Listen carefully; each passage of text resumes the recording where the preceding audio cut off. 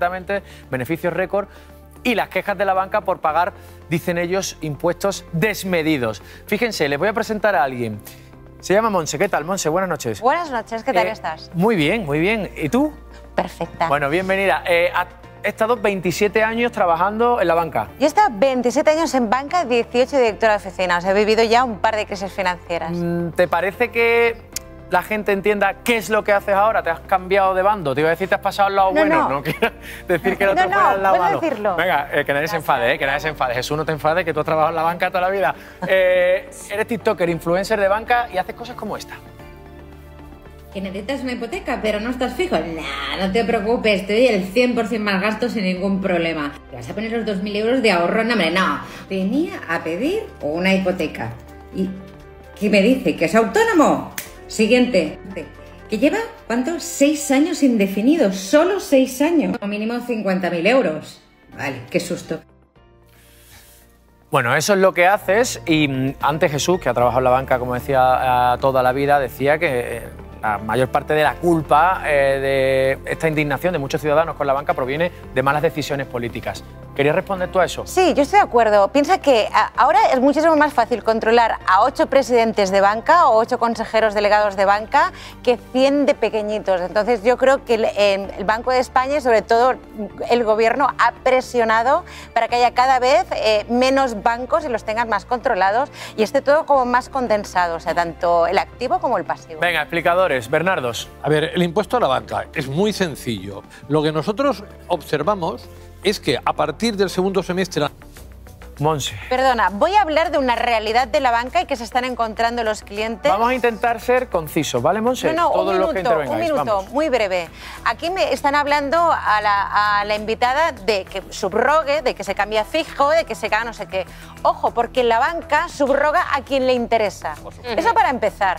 Porque subrogaciones no le interesa hacer porque debe asumir, lo que muchas veces no se explica, es que debe asumir los costes originales que pagó por esa hipoteca. Si tú firmaste después de 2019 y el gasto asume los costes de esa hipoteca y tú te la llevas a otro banco, a ese otro banco le va a venir una facturita de la parte proporcional de esos gastos.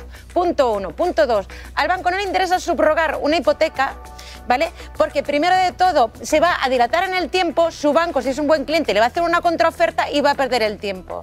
Y tercero, hay hipotecas que a la banca no le interesa. Por lo tanto, saben que están atrapados, que yo hasta hice un vídeo, permíteme que me quedan 10 segundos.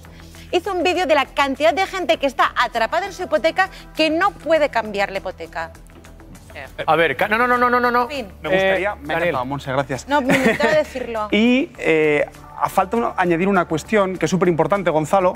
Eh, hasta 2018 nadie elegía la, la hipoteca que firmaba. Porque si nos fijamos en las hipotecas que se firmaban hasta 2018, el 90% eran variables. Porque el banco, menos. el banco no ofrecía otra cosa. mira- no ofrecía la otra gente cosa. solo mira lo que paga el primer mes. No ofrecían otra cosa, no les interesaban las variables y si te- las fijas, y si te ponían una fija, te lo hacían con un tipo superior Y ahora al 5%. tampoco les interesan las variables. Era y bueno. inasumible. Tranquilidad. A ver, Monse, 10 segundos para responder. Venga, vamos. Un segundo. Fecha de hoy, a fecha de hoy, aún hay entidades que te dicen que o solo te hacen la hipoteca variable, o solo te la hacen fija, o solo te la hacen mixta. Una- o una mixta. Cada banco tiene su oferta y hay, gente que solo puede hacer la hipoteca variable porque su banco de confianza solo le daba una hipoteca variable. sobre- banca y muy breve. La banca ahora mismo funciona por algoritmos informáticos Totalmente. y por estadísticas. Entonces, em, yo te digo que yo soy directora de oficina de 17 años. La banca antes, tú eras director de oficina y, ya- y luego al final era una comercialilla con despacho y con tarjeta. Porque quien decide es el algoritmo. Es que ni tan siquiera los departamentos de riesgo. Entonces, si tú quieres una buena hipoteca, introducen tus datos y en función de en función del rating que tienes, te van a dar una hipoteca a un tipo de interés o de otro. Pero hay poco margen ahí, ¿no? Perdona. Esa es la realidad. No, no va por ahí.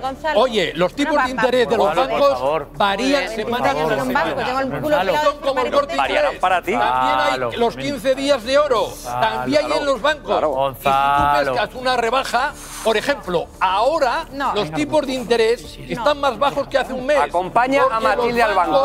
bancos Las que tenían previstas. Calma, venga. Acaba Monse y luego voy contigo. Rotundamente no. Funciona por algoritmos, funciona por rentabilidad, funciona por compensaciones. Tú ahora vas al banco.